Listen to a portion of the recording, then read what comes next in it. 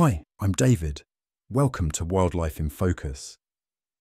Spotting the five owl species in the UK can be quite challenging.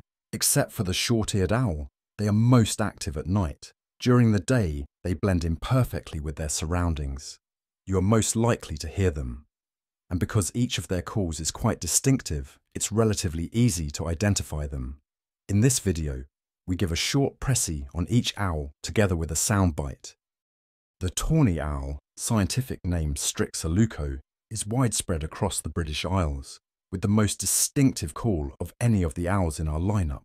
It is perhaps no wonder then that people associate the sound of the tawny owl with owls in general.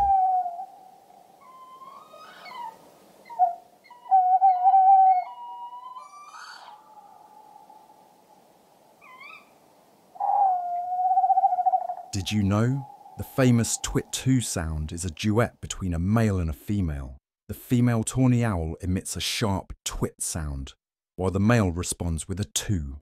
Therefore, listen out for the individual elements of the call, as they can indicate a solitary bird. For instance, a male will emit a call to establish its territory, while a female can also emit a call to maintain contact with her young.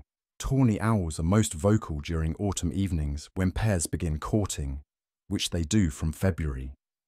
They prefer to live in broad-leaved woodlands, but they have adapted to urban environments where there are mature trees.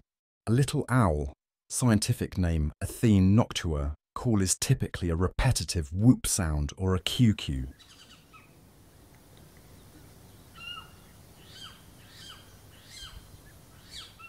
Best time to hear the little owl is during the breeding season, which occurs from April onwards. During this period, the males call to mark their territory. They inhabit areas with farmland and hedgerows, preferring to nest in large old trees, as these are most likely to have suitable hollows. The barn owl, scientific name Tyto alba, has a colloquial nickname of the screech owl due to its distinct piercing call. You're most likely to hear them at the start of the breeding season, when the males screech to proclaim their territory and to attract females. They inhabit open countryside, where you may be lucky to see them during dawn and dusk. The short-eared owl, scientific name Asio flammeus, is also renowned for its distinctive call. In particular, the male whose song typically consists of multiple hoots this repetitive singing can last for long periods when the males are declaring their territories and calling for females.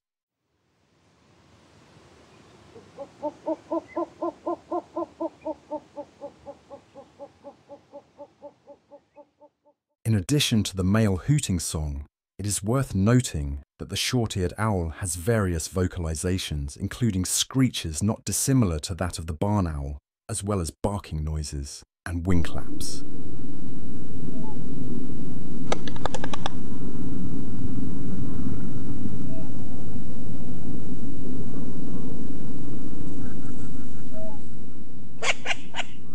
Short-eared owls inhabit grasslands and open moors as they breed on the ground.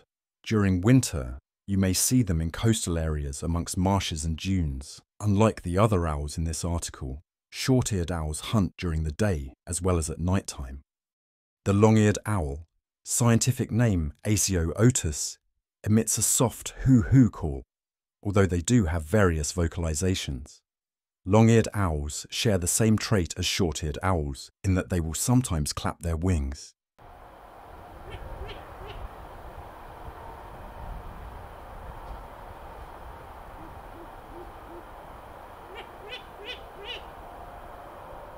The best chance to hear their calls is during the breeding season, which occurs in early spring. Long-eared owls are nighttime hunters roosting in dense trees within well-established woodland, including deciduous and coniferous